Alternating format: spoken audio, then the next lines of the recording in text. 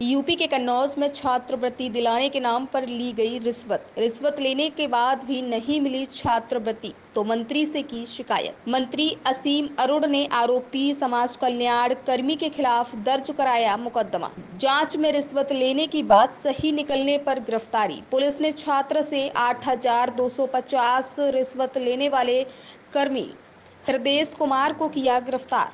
तिरवा के छात्र ममतांजय से हृदय ने ली थी रिश्वत। एसपी अनिल कुमार आनंद ने दी जानकारी।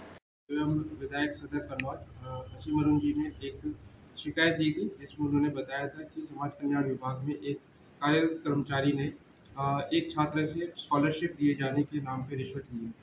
इसमें जाँच की गई तो पाया गया कि मामले एक छात्र ने स्कॉलरशिप के लिए अप्लाई किया था, जिसकी स्कॉलरशिप निरस्त हो गई थी। उसकी जानकारी करने हेतु ये विभाग में आया था तो विभाग में कार्यरत कर्मचारी निर्देश ने इसको बोला कि आ, मुझे पैसे दीजिए तो मैं आपकी स्कॉलरशिप दिलवा दूँगा। तो इसके लिए इसने रिश्वत की डिमांड करी। मार्च के महीने में इस छात्र ने आठ हज़ार दो सौ पचास रुपये फ़ोनपे के माध्यम से इसको ट्रांसफ़र की। उसके बाद भी इसका काम नहीं हुआ तो इसने इसकी शिकायत की।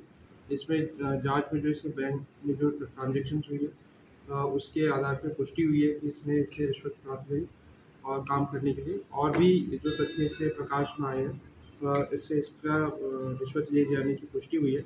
इसमें सुसंगत धाराओं में थाना कोतवाली, कन्नौज में प्रिवेंशन ऑफ़ करप्शन एक्ट में मुकदमा पंजीकृत किया गया है।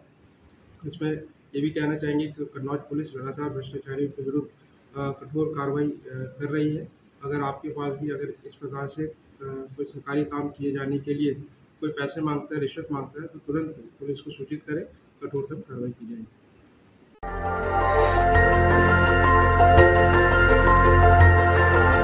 देखते रहिए डीवी भारती समाचार, नज़र हर खबर पर।